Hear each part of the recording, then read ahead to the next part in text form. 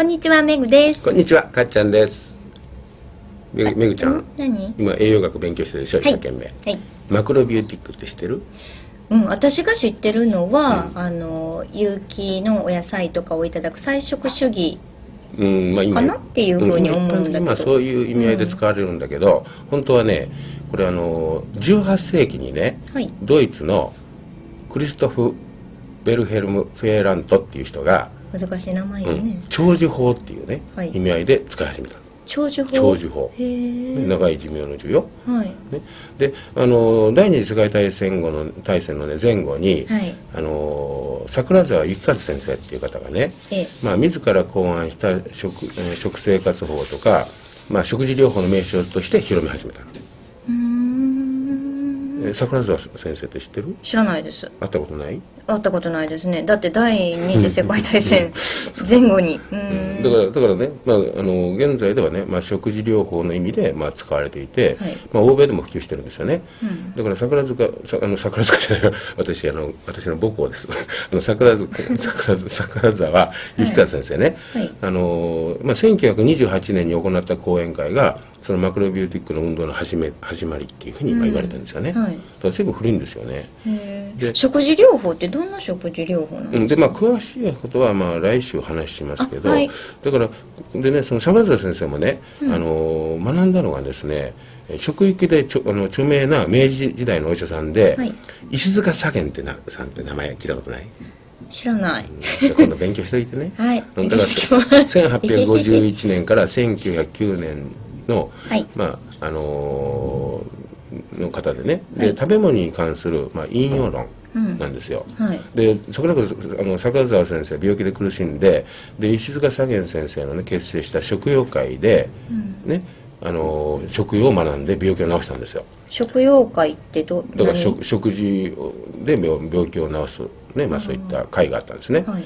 で、まあ、独自に研究されてであの、まあ、大沢理論といううんいうふうにも言われますけどででも基本だったのはその石塚左源先生のあの、食用法なんですね。でそのね、まあ、5項目ぐらいあるんですけども、えーまあ、食本主義というのが一つ目一つ目ね。食は本あり本なり、ね。体は末なり。心はまたその末なりだから食事と体と心、はい。ね、で心身の病気の原因は食にあるってことね、うん。食が一番大事なんですね。であのあとはね人類。みんな兄弟。あの違う。かファンファンの人から怒られるよそんなこと言ったら、本うん。人類黒食動物論っていうの。要するにね穀物を食べる人間は。はい。ね、だから人間の歯ってのは穀物をね、えー噛む歯がね、まあ、臼歯が20本、ね、でや野菜を噛み切る、ね、あの歯が、まあ、前歯がこれが8本。はい。で肉を噛み切るね、まあ、犬歯これが4本なんですよ。はい。だから歯に合わせたものを食べなさいってこと。例えば蝶々。は？蝶々。って動物ね。蝶々ね。ストローみたいな口してるでしょ、えね、鼻の蜜飲むでしょ、はい。ね、セミは口が尖ってるけど木の汁吸うでしょ、はい。セミが止まって血を吸ったって聞いたことある？聞いたことない。ね、でアリ食いはアリしか食べないでしょ？あれしか食べないのあの人。そうよそうよ。へあーの人って、ね、それから魚とかさ、で要するにみんな口にあったもの食べるんですよ、ね、で何でも食べるのがね人間なんですよね、ううん。んだから本来は人間の歯に合わせてもの食べなさいっていう理論なんですね。はい。で、えーだからまあ肉とか卵とか牛乳ねこれは食べたらいかんっていう指導なんですね、ほんでで牛の体温ってへねー。さはい。何度か知ってる？牛ですか、人間と近い？38度5分あるのあ高いんですね、うん、だから牛の体温っていうのは、ね、子牛に合った本当の、まあ、お乳が出るわけですよ。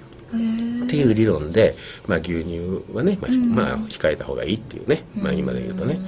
それから、えー、震度不って居住地のね自然環境に適合している食材を主食にして、はい。ね、でその居住地のところで取れる副産物を副食にするっていうこと、まあ、それがまあ調和だから季節の食材とか地元の食材、はい。まあそういったものをね、まあ、食べるっていうことがすごく大事なんですよね。はい。それからね陰陽の調和ってことを言われてるんですね、だからあの当時の、まあ、西洋医学ではね、まあ、掲示されたナトリウムとかね、ええ。えーそれから、まあ、カリウムの、まあ、そういったミネラルのバランス、これと病気の考え関係をねあの掘り下げて考えて、であのそのバランスが崩れると、まあ、病気になるっていうね、まあ、理論なんですね、うん、だからあのそれともうあとはあのいつ、まあ、一物全体。だから一つの食品を丸ご別丸ごと食べることで、まあ、陰陽のバランスが保たれる、うん。でで白い白い米。で白米ね,、はい。ね米が白いって書いて何て読む？米が白い米が白い、うん。白米じゃなくて？一文字で米辺に白って書いてある。米辺に白？どっち？どっち？今一生懸命書いてんねんけど。どっちカス。ああほんまや。かす汁のかすやね。ね。はい。だから玄米を主食としてまあ進めてるわけですね。でで白米の栄養っていうのはね玄米のね20%ぐらいなんですよ。はい。だから昔ねあの江戸時代だったかなあの活気が増えたの。あれ白米に変わってからなんですよ。はい。で、まあ、ビタミン B1、ね、これはね、えー玄米がね、あのーそうですね、まあ、0. 1日ねご飯3杯食べたら玄米は大体 0.7mg なんですよ。でも白米で取ろうと思ったらね20杯食べなきゃいけないの。じゃあやっぱり玄米はおすすめですね。そうですね。だから小魚、ねだからそのままだから小魚食べなさい、玄米豆、ね、この栄養のバランスがまあエネルギーになってね、あのそれから取ってすぐの野菜のエネルギー。これすごくエネルギー高いんですよ。うん。でフレッシュなものを私も家庭菜園ね昔自分でやってたけど、はい。ね、朝と起きてねすぐね、ちょっと二日酔いでしんどい時にナスをね生でバリバリ食べるんですよ。きゅうりとか。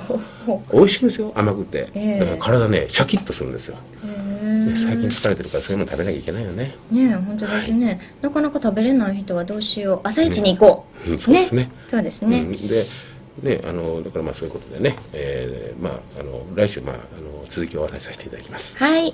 ここで番組からプレゼントのお知らせです。ドクトルかっちゃん健康にキッス。この番組が CD になりました。毎月5名の方にプレゼントしています。